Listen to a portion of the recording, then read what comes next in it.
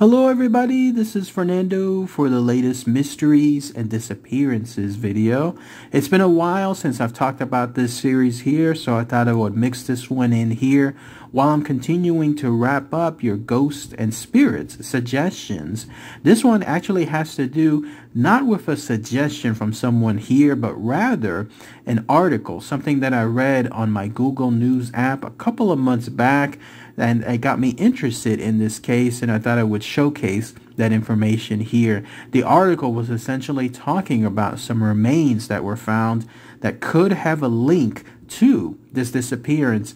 The only problem is considering the timeline involved as far as the testing of those remains and the timeline associated with the article now being several months old there may not be another full update at least for now.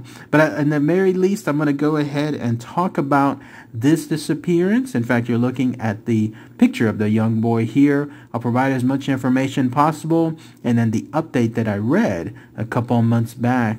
His name is Jose Esuaro Dominguez, but he had a nickname that he went by that was called Che. So let's go ahead and let's talk about his disappearance here and again, stick towards the end. You'll hear that update associated with the article I was reading. So here's what happened. Jose Esuaro Che Dominguez was originally born on July 16th, 1965. He grew up there in California, and it looks like he ended up staying for a while at a place called Stockton, California. Some of you that are locals there, let me know if you remember any information associated with news, if this was a sensational story, something along those lines with regards to his disappearance. It's a slim chance because it looks like the disappearance date actually occurred August 2nd, 1981, so a little over 40 years now, but it's still considered an active case. At the time of his disappearance, he was 16 years old. So here's essentially what happened. On August 2nd, 1981, he was leaving his home there in Stockton, California, and at the time he was going to meet two friends over at a location called Stribley Park. More on that here in a minute when it comes to those two friends, by the way. So he was going to meet them there, and as it happens, it happened to be a, a local location. So in other words, very nearby his spot as well.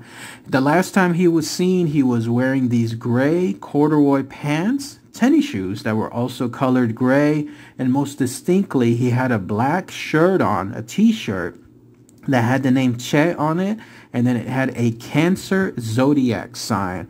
I think this played an important part because later on, there were some more reports associated with people seeing him more on that here in just a moment too. But yes, he left home to go there. I don't have the time period, so I don't know if it was, let's say, in the morning or in the afternoon. But the idea is he left and then he was never ever seen again. This was strange and unusual because him being a high school student at the time, in fact, he was going to a school that was called Franklin High School. He played there in the jazz band. He was a trumpet player. He was also a wrestler people stated that he was the kind of person that would not just do this type of disappearance, even though it was said afterward and probably the police and other type of law enforcement just have to consider this always that he purposely disappeared like in other words he was a runaway the fact that he never made contact with his family especially during the holiday period or during his birthday that was very unusual for him. That gives you an idea that he was someone that may have been even uh, more of an isolationist or someone that wasn't necessarily just outgoing, but at the same time, he wasn't just someone that would just outright disappear. He wanted to be able to be seen at least sporadically, if not multiple times. But yeah, he apparently left his home there from Stockton, California, and then he was never seen again. Obviously, there was a search done. There was uh, any type of investigation to try to find his location, see where he went. It was actually discovered that the two friends that he was on his way to meet, no names associated with them. It gave me the idea that they were minors at the time, which is why a lot of that stuff, information, remains hidden. Anyone that's um, under 18, a lot of the info for protection purposes is not reported online anywhere, even to news outlets. But yeah, those two friends were actually arrested. They were arrested. Um, it, it looks like it was uh, eight years later. So maybe they took a little bit longer than usual for the uh, law enforcement and others to try to gather some evidence, but they eventually arrested them. But as it turns out, there was no body. And by that point, eight years later, they still, law enforcement and others had not found Che within any of the locations that they were hounding. And on top of that, no evidence, very little to none when it comes to linking those two friends to his arrest. And so all those charges linked to those two friends were gone. So closest we have when it comes to having any kind of tie to something involving his disappearance as to who caused it is apparently those two friends that were with him. It was enough that police were able to arrest someone, but eventually the courts decided no, even the prosecutors and judge said they just didn't have enough evidence to consider it a case that either they could proceed with or win. And so all charges were dropped. Imagine that's got to be like a gut punch to the family because on their end, here they have something that could potentially be something along the lines of a finality. Obviously, eight years later and now going 40 years later, there's still, as mentioned earlier, an active case status associated with it. But here there was maybe going to be something, some kind of final word when it came to who caused his disappearance, but there's nothing else associated with it, nothing else in terms of evidence, nothing else in terms of the body pointing towards more evidence. So in that case, that's when that only link had to be dropped and who knows what happened to those two friends or if there's been other evidence tied to them but it looks like it hasn't to this very day. There's even a facebook page associated with the disappearance as well and there's a listing from the fbi $5000 reward. So that way if any information is found linked to the disappearance or information about finding him and so on then that's where um, it's $5,000. And then Crime Stoppers, the Stockton Crime Stoppers, has their own investigation uh, reward of $10,000 in that case.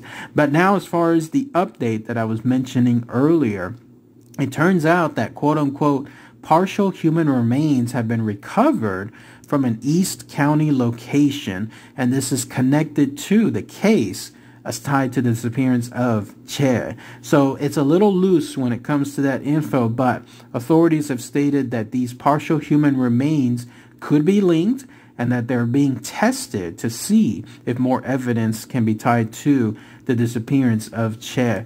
The only problem though is this. At the time when I was reading the information associated with that update, that was December of last year. The article was stating that it takes several weeks for that type of information, the testing to come up with some results. Obviously, we're well past that time period now, so I don't think anything came about from it. Or who knows, maybe the uh, investigators, whoever's doing this, uh, and it is this case is apparently also part of another unit, one that looks at cold cases, but that are the closest ones to being solved, almost like on an active status slash hot case.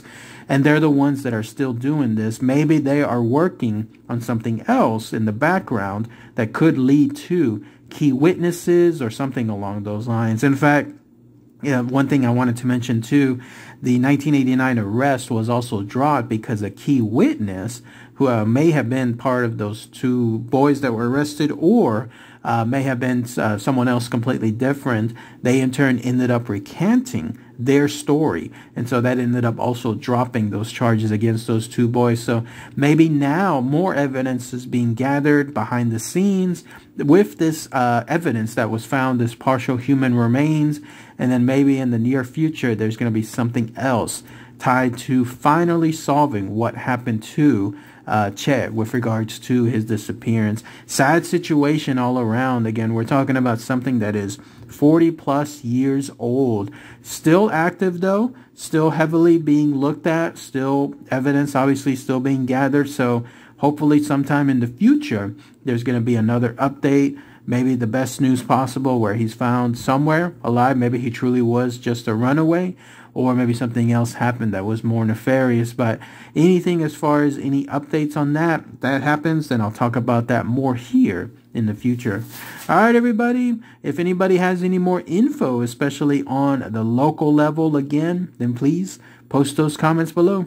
All right, everybody. Thanks again as always. Take care. Bye.